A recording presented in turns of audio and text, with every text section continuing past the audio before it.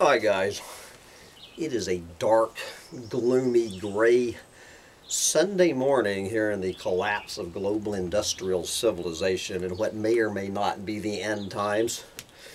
Here on this gloomy Sunday morning in the Catskill Mountains, that would be Sunday, June 16th, 2019, and uh, so the little dog has been barking all morning, waking up the neighborhoods. This mouthy little dog, while I have been trying to get together the combination Doomsday Sermon of the Week for that other channel and the Monday Chronicle of the Collapse, where where some of you listening to this, this will be the second time this week, where I have turned to philosopher John Gray. And today we are going to read from a book Sancho needs to read, The Silence of Animals. Shh, the Silence of Animals on Progress and Other Modern Myths. Okay, so uh, we're going to read a couple of selections about uh, progress and other myths. We're going to start with the essay, The Call of Progress, and maybe I'll have time to read the first half of his second essay. Okay, The Call of Progress, where he starts with a long quote from my hero Joseph Conrad. So a lot of this he, he quotes from Conrad. Take it away, Joseph Conrad. Kayerts was hanging by a leather strap from the cross. He had evidently climbed the grave, which was high and narrow, and after tying the end of the strap to the arm, had swung himself off. His toes were only a couple of inches above the ground. His arms hung stiffly down. He seemed to be standing rigidly at attention, but with one purple cheek playfully posed on the shoulder, and irreverently he was putting out a swollen tongue at his managing director, close quote. The hanged man, this is back to John, the hanged man was one of a pair of traders sent by a Belgian corporation to a remote part of the Congo 300 miles away from the nearest trading post. Most of their work was done by a, a native interpreter who used a visit by some tribesmen to sell some of the outpost workers as slaves in exchange for ivory tusks initially shocked at being involved in slave trading, but finding the deal highly profitable, Kayerts and the other European, Carlier, accepted the trade. Having made the deal, they were left with little to occupy their time.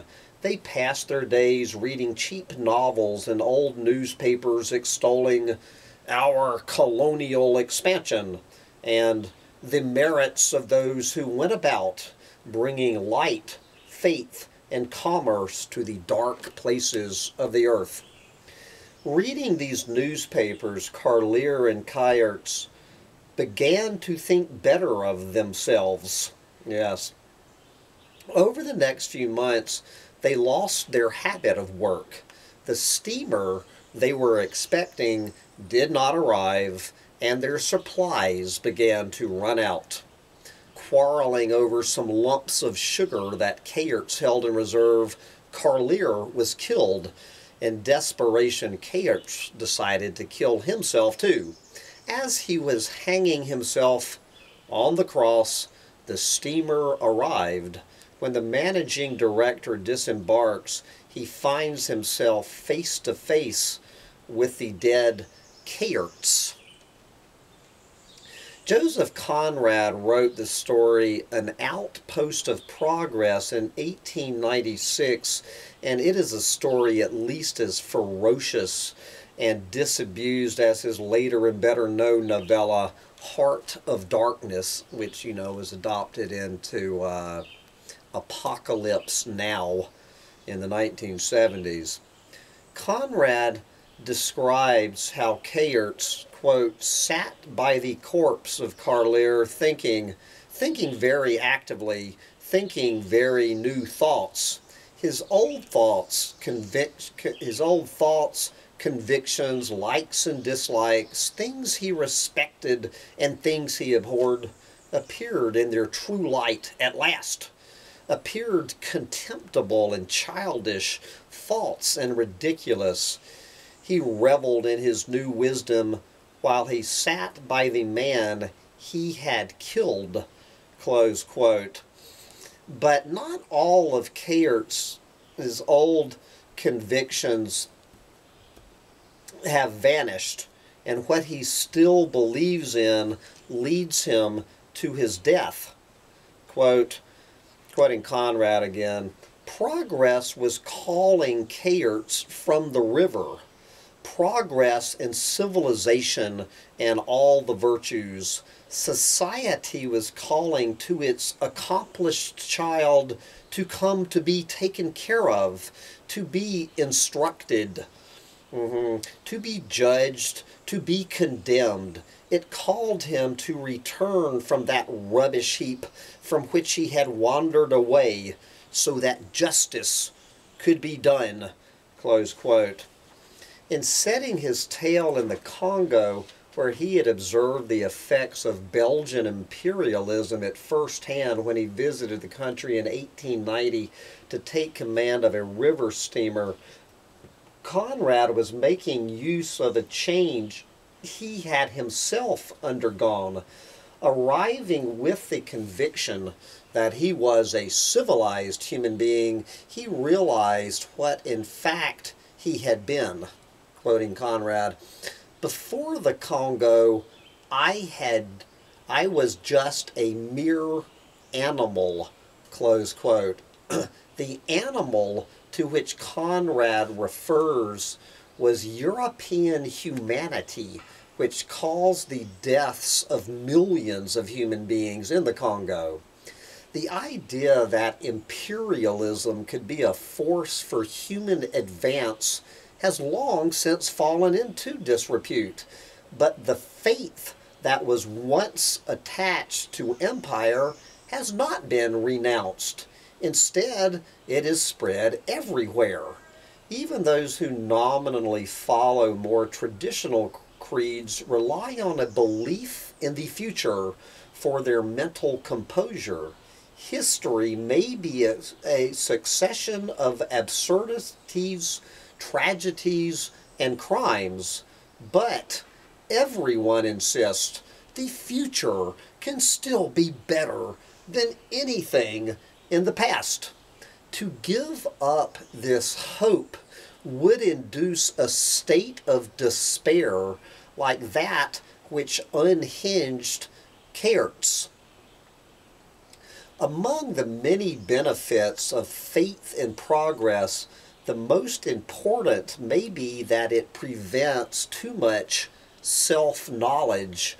When Kayerts and his companion ventured into the Congo, the aliens they met were not the indigenous inhabitants, but themselves returning to Conrad, quote, they lived like blind men in a large room, aware only of what came in contact with them, and of that only imperfectly, but unable to see the general aspect of things. The river, the forest, all the great land throbbing with life were like a great emptiness things appeared and disappeared before their eyes in an unconnected and aimless kind of way. The river flowed through a void. Out of that void, at times, came canoes, and men with spears in their hands would suddenly crowd the yard of the station. Close quote. They cannot, meaning the white guys, uh, cannot endure the silence into which they have come. Quoting Conrad, stretching away in all directions, surrounding the insignificant cleared spot of the trading post, immense forests hiding fateful complications of fantastic life lay in the eloquent silence of mute greatness. Close quote. The sense of the progression of time which they had brought with them began to fall away. As Conrad writes towards the end of the story, quote, those fellows having engaged themselves to the company for six months without having any idea of a month in particular and only a very faint notion of time in general, had been serving the cause of progress for upwards of two years. Close quote. Removed from their habits, Kayerts and Carlier lose the abilities that are needed to go on living. Returning to Conrad. Society, not from any tenderness, but because of its strange needs, had taken care of those two men, forbidding them all independent thought, all initiative, all departure from routine, and forbidding it under pain of death. They could live only on condition of being machines. Close quote. Remember, this was written in 1896. Conrad was writing this. Back to uh, John Gray. the machine like condition of modern humans may seem a limitation in fact, it is a condition for their survival. Kayerts and Carlier were able to function as individuals only because they had been shaped by society down to their innermost being. They were, quoting Conrad, two perfectly insignificant and incapable individuals. whose existence is only rendered possible through the high organization of civilized crowds.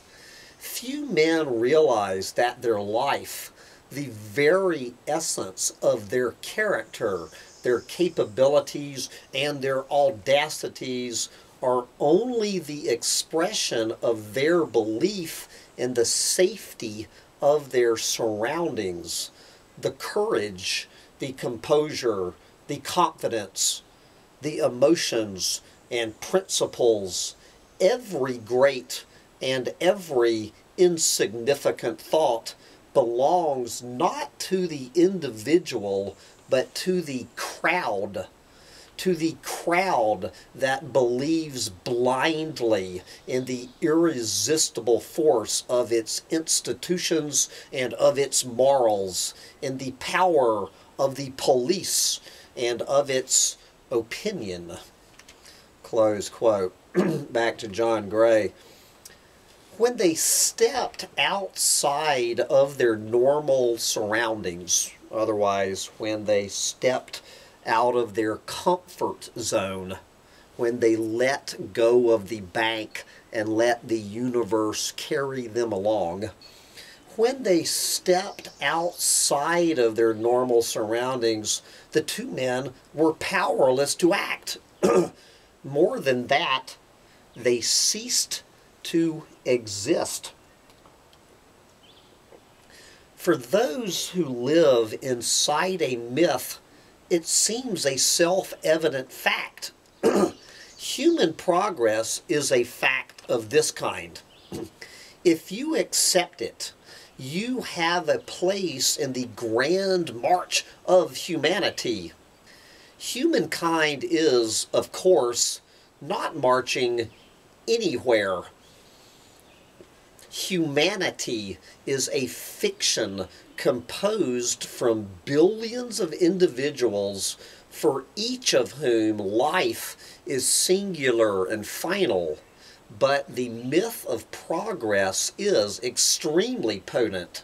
When it loses its power, those who those who have lived by it are, as Conrad puts it, describing Kayerts and Carlier, quote, like those lifelong prisoners who, liberated after many years, do not know what use to make of their freedoms. Close quote. Damn it. When faith in the future is taken from them, so is the image they have of themselves. If they then opt for death, it is because without that faith, you know, in the future, they can no longer make sense of living. When Kayerts decides to end his life, he does it by hanging himself on a cross. Returning to Conrad, Kayerts stood still. He looked upwards. The fog rolled low over his head. He looked around like a man who has lost his way, and he saw a dark smudge a cross-shaped stain upon the shifting purity of the mist. As he began to stumble towards it, the station bell rang in a tumultuous peal, its answer to the impatient clamor of the steamer. Just as the steamer is arriving, showing that civilization is still intact, Cair's reaches the cross where he finds his redemption in death. What has the cross to do with progress? Conrad tells us that it had been put up by the director of the great trading company to mark the grave of the first of his agents, formerly an unsuccessful painter who, quote, had planned and watched the construction of his outpost of progress. The cross was much out of the perpendicular, causing Carlier to squint whenever he passed it. So one day he replants it upright. In the story that the mod that's back to uh, make sure you understand we're back to John Gray here in the story that the modern world repeats to itself, the belief in progress is at odds with religion. In the dark ages of faith, there was no hope of any fundamental change in human life. With the arrival of modern science, a vista of improvement opened up increasing knowledge allowed humans to take control of their destiny from being lost in the shadows they could step out into the light. In fact the idea of progress is not at odds with religion in the way this modern fairy tale suggests faith in progress is a late survival of early Christianity originating in the message of Jesus, a dissident Jewish prophet who announced the end of time. For the ancient Egyptians, as for the ancient Greeks, there was nothing new under the sun. Human history belongs in the cycles of the natural world. The same is true in Hinduism and Buddhism, Taoism, and Shinto, and the older parts of the Hebrew Bible. By creating the expectation of a radical alteration in human affairs, Christianity the religion that St. Paul invented from Jesus' life and sayings founded the modern world. in practice, human beings continued to live much as they had always done. As Wallace Stevens wrote, quote, she hears upon that water without sand, without sound, a voice that cries, The tomb in Palestine is not the porch of spirits lingering, it is the grave of Jesus where he lay. We live in an old chaos of the sun. Close quote. Back to John Gray.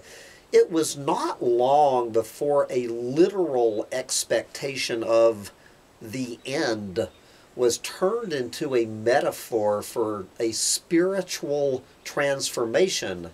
Yet a change had taken place in what was hoped of the future. Many transmutations were needed before the Christian story could renew itself as the myth of progress but from being a succession of cycles like the seasons, history came to be seen as a story of redemption and salvation.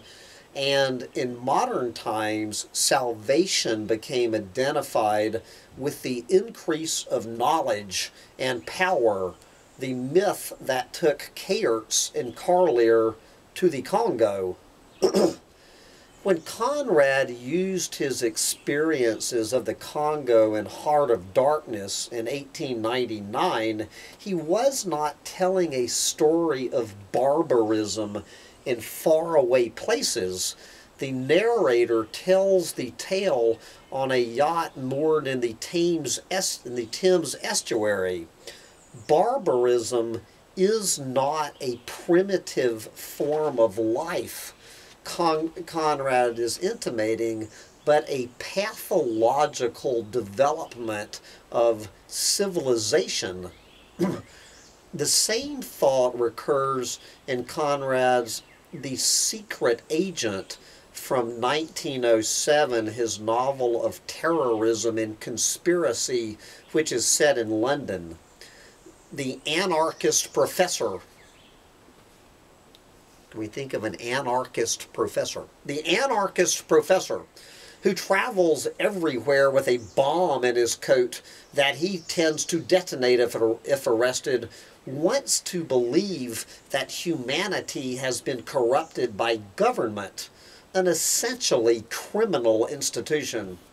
But as Conrad understood, it is not only government that is tainted by criminality. All human institutions, families, and churches, police forces, and anarchists are stained by crime, explaining human nastiness by reference to corrupt institutions leaves a question. Why are humans so attached to corruption? Clearly, the answer is in the human animal itself. Conrad shows the professor struggling with this truth in this passage from, from uh, The Secret Agent. Quote, he was in a long, straight street peopled by a mere fraction of an immense multitude, but all around him on and on, even to the limits of the horizon, hidden by the enormous piles of bricks. He felt the mass of mankind, mighty in its numbers. They swarmed numerous like locusts, industrious like ants, faultless like a natural force pushing on, blind and orderly and absorbed, impervious to sentiment, to logic, to terror, too, perhaps. Close quote. The professor continues to dream of a future in which humans will be regenerated, but what he truly loves is destruction back to Conrad, the incorruptible professor walked, averting his eyes from the odious multitude. He had no future. He disdained it. He was a force. his thoughts caressed the images of ruin and destruction. He walked frail, insignificant, shabby, miserable, and terrible in the simplicity of his idea, calling madness and despair to the regeneration of the world. Close quote. If Kayerts hanged himself because he no longer believed in progress, the professor is ready to kill and die in order to show that he still has faith in the future. the myth of progress casts a glimmer of meaning into the lives of those who accept it. Kayerts, Carlier, and many like them did nothing that could be described as significant, but their faith in progress allowed their petty schemes to be to seem part of a grand design while their miserable deaths achieved a kind of exemplary futility. Their lives had not possessed. and uh, I probably shouldn't wind up there, but I want to read the first half of uh, this uh, other essay that had a particular attraction to me. You can uh, figure out why for yourself. This one is titled Humanism and Flying Saucers. if belief in human rationality was a scientific theory, it would long since have been abandoned. A striking falsification can be found in a classic of social psychology. When Prophecy Fails, written in 1956, a study of a UFO cult in the early 1950s, written by a team led by Leon Festinger, the psychologist who developed the idea of cognitive dissonance. The book recounts how a Michigan woman claimed to have received messages in automatic writing from alien intelligences on another planet announcing the end of the world, which would be inundated by a great flood in the hours before dawn of December 21st, 1954 the woman and her disciples had left their homes, jobs, and partners and given away their possessions in order to be ready for the arrival of a flying saucer that would rescue them from the doomed planet. For Festinger and his colleagues, this was an opportunity to test the theory of cognitive dissonance. According to the theory, human beings do not deal with conflicting beliefs and perceptions by testing them against facts. They reduce the conflict by reinterpreting facts that challenge the beliefs to which they are most attached.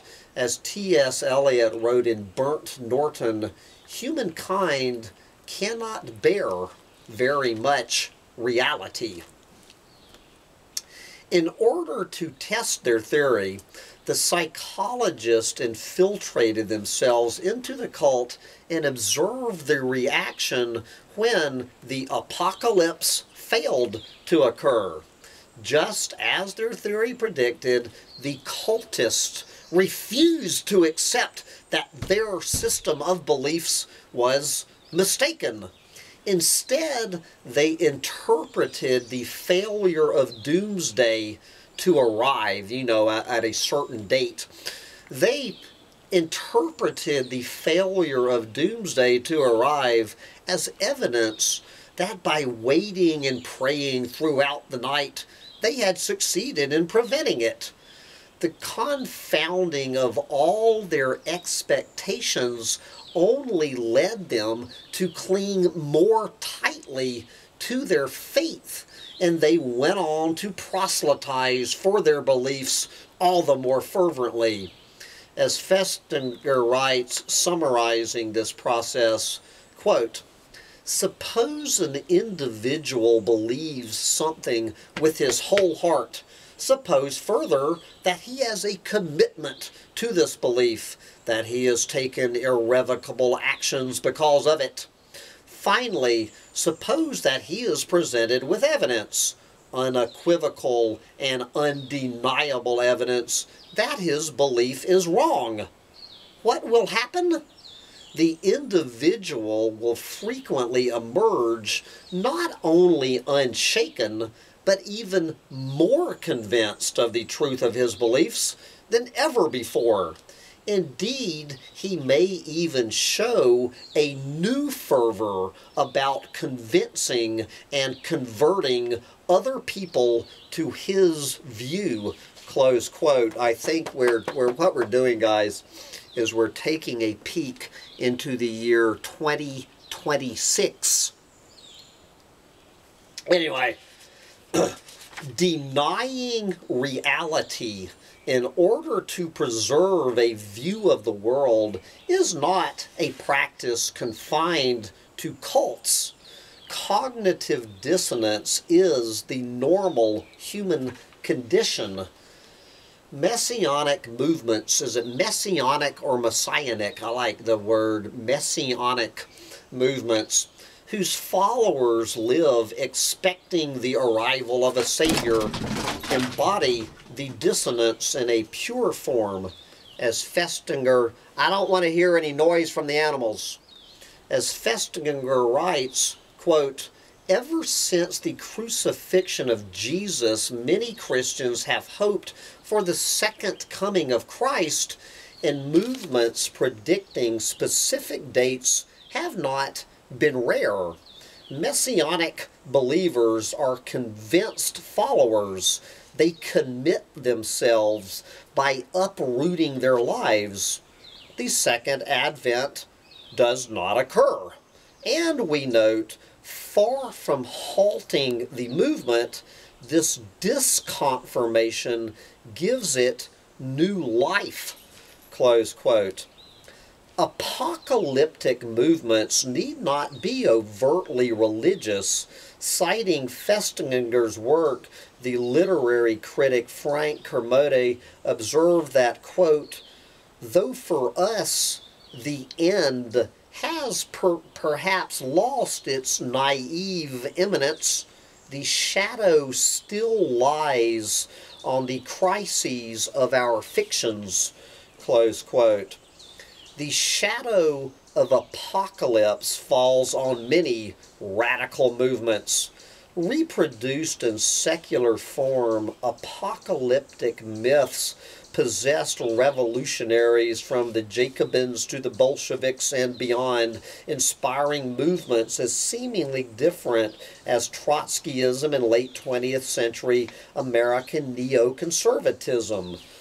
Proletarian humanity in Soviet Russia, the Übermensch in Nazi Germany, the global producer consumer awaited by congregations of the rich at meetings of the World Economic Forum in Davos. Any of these versions of humanity would have marked something new in history. Happily, the end times failed to arrive and none of the phantoms materialized. If there is anything unique about the human animal, it is that it has the ability to grow knowledge at an accelerating rate while being chronically incapable of learning from experience science and technology are cumulative, whereas ethics and politics deal with recurring dilemmas. Whatever they are called, torture and slavery are universal evils. But these evils cannot be consigned to the past like redundant theories in science they return under different names. Torture as enhanced interrogation techniques, slavery as human trafficking.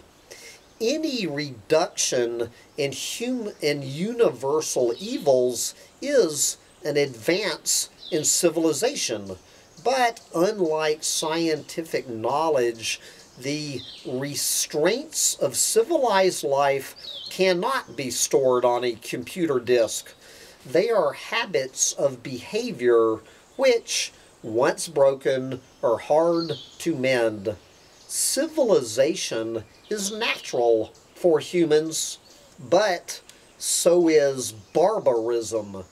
The evidence of science and history is that humans are only ever partly and intermittently rational. But for modern humanists, the solution is simple. Human beings must, in the future, be more reasonable. These enthusiasts for reason have not noticed that the idea that humans may one day be more rational requires a greater leap of faith than anything in religion. Since it requires a miraculous breach in the order of things, the idea that Jesus returned from the dead is not as contrary to reason as the notion that human beings will, in the future, be different from how they have always been. Amen, uh, Brother John Gray.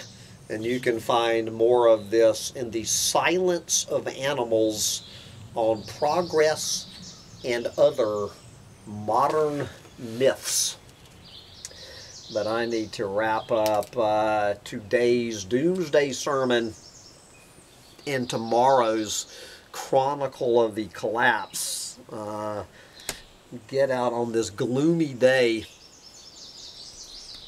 and uh, continue beating the bushes for my little bivouac to survive the collapse of civilization and perhaps the apocalyptic end times. Bye, guys.